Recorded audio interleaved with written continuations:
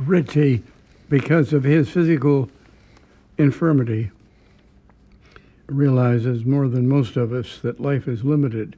He wants to squeeze as much as possible into it. So he has,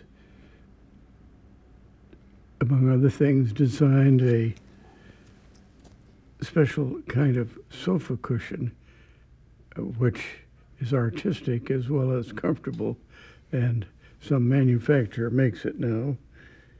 And he also got himself elected to the European Parliament. He had to run,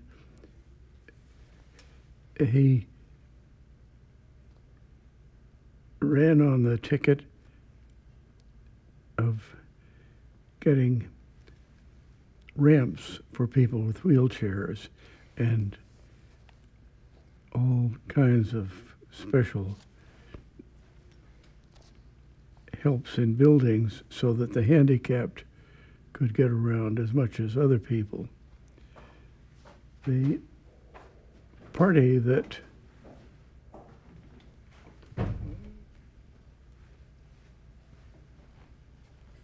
the party that would back Regge on his proposals turned out to be the Communist Party. So he became a communist delegate. That was some years ago. When I saw him in Rome in May of this year, he said that he's resigning from the European Parliament. He's giving up being a delegate. And his activities all going to physics.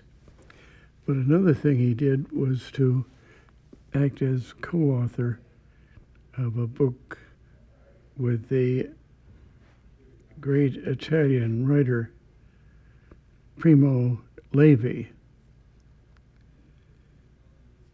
He, in that, he tells about coming to visit me in Leiden with this, not very much in it about this paper that we were working on, but he tells about the fireworks that I had succeeded in getting hold of and about how I could set them off in the grounds of the Institute when we were working there on a Sunday. But we didn't realize all the furor we would cause. The police force arrived after we'd set them off. we had to convince them that we were not terrorists.